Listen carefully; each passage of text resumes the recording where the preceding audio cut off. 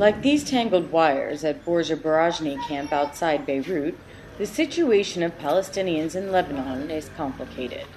The dangling wires kill four to six children every year, but the people living here can't do anything about it because they're forbidden access to proper supplies. The living situation in the country's 12 camps is not the only concern for Palestinians. It's basic rights they want. حق التملك إني أتملك مش معناتها إني أنا بدي أتوطن مثل ما يقولوا إنه هذا قناع. بدي حق الاجتماعي وحق الاقتصادي حتى أعيش بكرامة من أجل إني أصبر وأقدر أصمد للعودة إلى فلسطين.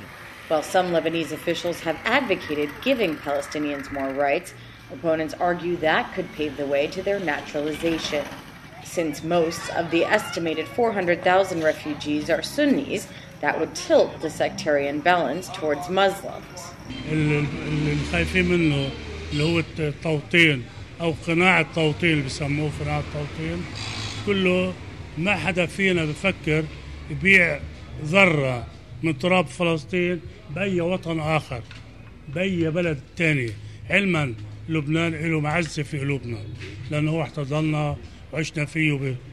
لكن نتمنى إحنا بذرة التراب أو تحت زيتونه تحت شجرة صبير في بلادنا افضل لنا من الحياه اللي احنا بنعيشها So, these Palestinians are showing their frustration by participating in a mass rally.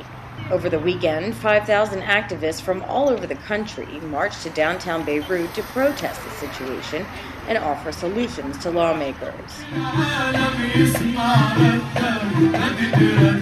Mahmoud Yusuf Shadid wants to be a taxi driver, but can't get a license because he's Palestinian.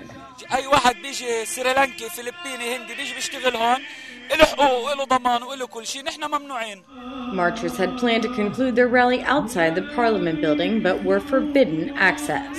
While most Palestinians still hold out hope they will return to their homeland, they say they would like to live in dignity while they are here. Paige Kollock, Now Lebanon.